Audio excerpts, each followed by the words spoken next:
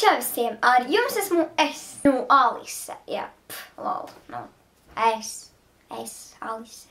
Jūs jautājat, kāpēc es esmu pie šīs sienas? Jā, kāpēc tu esi pie tādas sienas? Tāpat nav sienas, ir skats. Nē, nu jā, ties kā. Principā jau, nu, šī pat nav mana istaba. Un tad kāpēc tu esi kāda cita istabā? Un kāpēc tu nevarēji filmēt pie savas sienas? Vienkārši es viena pat mājās. Un tad es filmēju.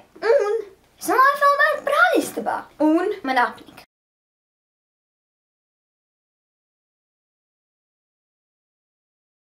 Īstenībā es mēģināju nefilmēt video tagad šajā laikā, šajā laika posmā. Un nākamās video likt tikai saistībā ar ārvalstī, uz kuras braukšu. Taču man tas nesanāca. Un tā ir problēma. Pēc, kad man rodas atkarība no video taisīšanas. Un tas nav labi. Nē, nu tas varbūt ir labi, bet, nu, Tas ir grūti. Un tāpēc es nevarēju, man nebija tik ļoti ko darīt, tāpēc es nolēmu uzfilmēt video. There we are. Šis ir mans videoklips. YouTuber tag, jeb YouTuberu tags, jo es nezinu, ko filmēt, bet es nevarēju nefilmēt, jo, nu, tās mēs Alise. Un šajā videoklipā mani ietāgoja, jā, oja, tāgoja. What the fuck, Alice? Uh, mani ietegoja Elīna, atkal Elīna. Um, paldies tev un let's get started. Sākam! Es tev parasti filmē. Nu tā, tad mani parasti filmē kamera vai arī kamera vai tomēr telefons. Bet outfita idejas vai videoklips, kas man ir jāfilmē ārā no mana apartamenta. Man filmē mani frendi vai, nu, ļoti rāta ģimene. Nē, man ne, vispār nekad nav filmējis ģimene. Bet izmanto mākslīgo apgaismu vai dienas gaismu. Es personīgi mēģinu, mēģinu izmantot dienas gaismu. Taču, nu, man parasti sanāk izmantot lampu. Tāpēc, ka vienkārši pa dienu man ir jādara tik daudz kas, pareizāk sakot, jāstās ugunsgrēks, un tāpēc tas ir tik grūti, jo, nu, jūs tak negribētu, lai tagad fonā skanētu televizors ar ugunsgrēku zentu. Man vienkārši pa dienu nav laika, tādēļ uh, es, mē, es parasti filmēju vakarā, bet es ļoti mēģinu pa dienu. Un es mēģinu arī uzlabot savu video kvalitāti, mēģinu filmēt pa dienu, cik jau es to reizes teicu. Kāda ir top lieta, ko tu vēlaties iegādāties priekš YouTube? YouTube! Nu, priekš YouTube es vēlētos ļoti iegādāties selfie stick, nu, tas nav saistīts ar YouTube, jo ar viņu vispār nav tā kā domāts filmēt video.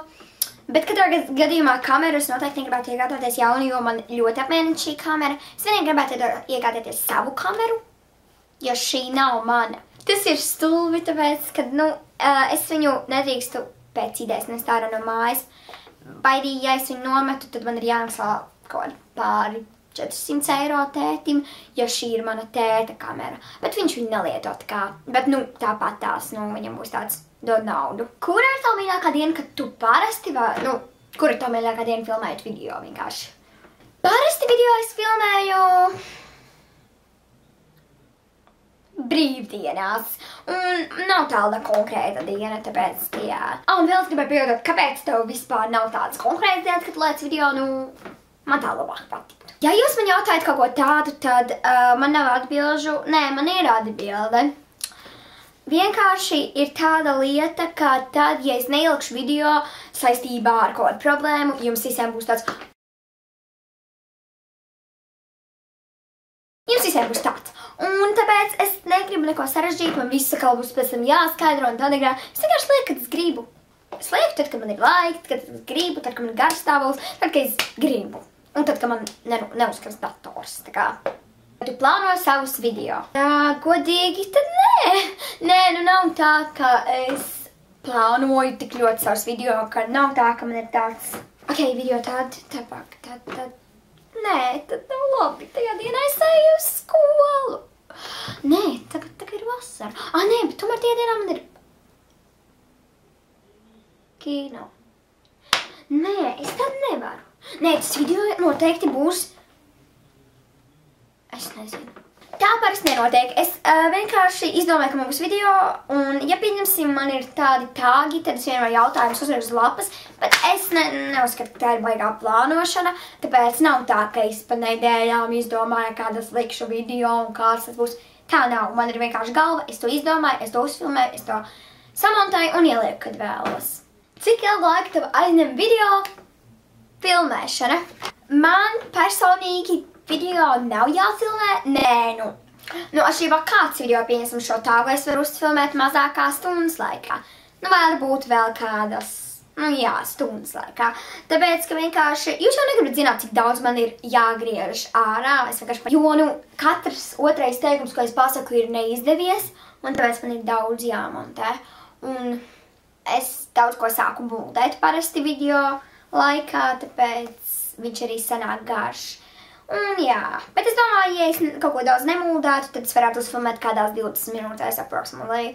Tā kā, nu, jā, bet, nu, pagaidām aizvien vismaz 40 minūtes. Cik ilgu laiku tev aizņem video montēšana? Es nezinu, šādu tagu video, nu, stunda. Uh, varbūt čučit vairāk, uh, bet, nu, ja mēs runājam par tādiem kā outfit video, nu, kādas divas nedēļas, tā apmēram, nu, es nezinu, kā kuru reizi. Atšķirībā, cik es esmu aizņemta, jo, nu, ja es esmu šausmīgi aizņemta, tad vispār es tur varu montēt mēnesi, jo, nu, man nav laika tam. Kur ir tavu mīļākā video veidi, kurus filmēt? Man mīļākie video veidi, kurus filmēt, ir challenge ar frendiem. Vai cilvēki tavā skolā vai klasē zina par tavu YouTube kanālu? Protams, ka zina. Lol, nu kas pie jautājuma vispār? Es šo jautājumu izplasīšu ārā. Cik subscribers tu gribētu sasniegt līdz janvārim?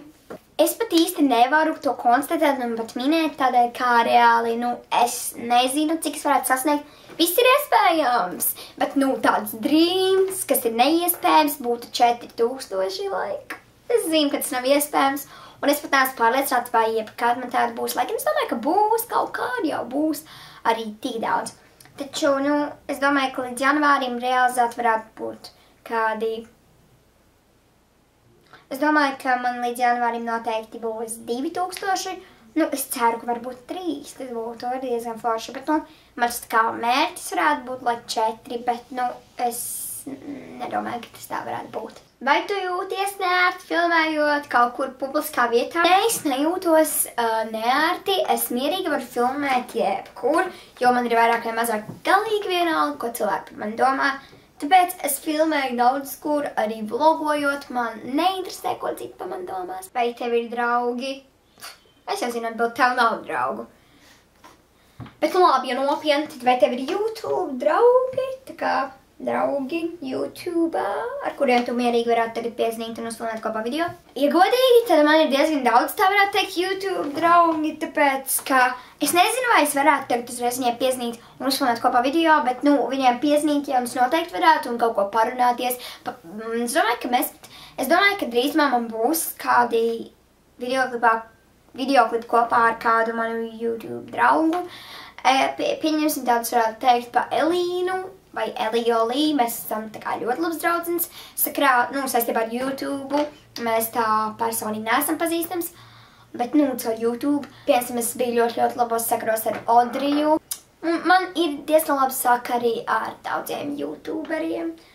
Arī ar tādu kā Edimperi. Čau, Beta! Kāds ir tavs mīļākais video no taviem videoklipiem? No visiem maniem videoklipiem man vislabāk, ja godīgi patīk, es aiziešu apstīties. Ok, es esmu atpakaļ. Es apstīšos manā kanālā, jo es no galas nezinu pat visus savus videoklips. Man ļoti patīk videoklips ar nosaukumu Vasara, kā arī man ļoti patīk videoklips uh, kaut kas jauns. Uh, man patīk tās videoklips, un arī noteikti man patīk Reddish Journal, hashtag divi, kā arī pavasaris. Nākamos es ietegoju Kadimē. Uh, Un jā, viņi skatās manas video.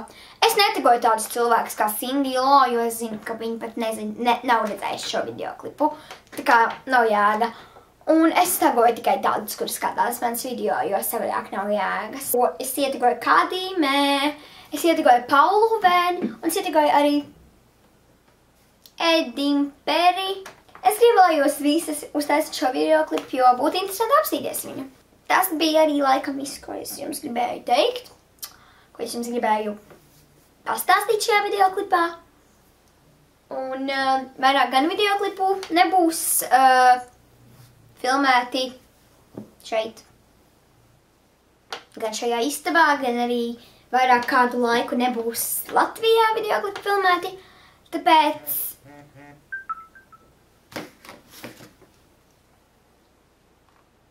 Ugh, jauna īziņa.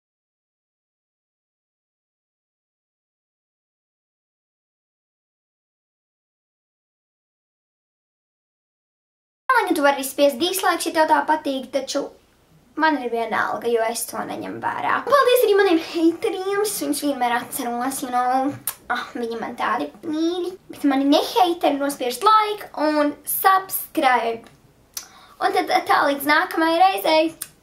Ah, un neaizmirstiet man sakot, followot Instagramā.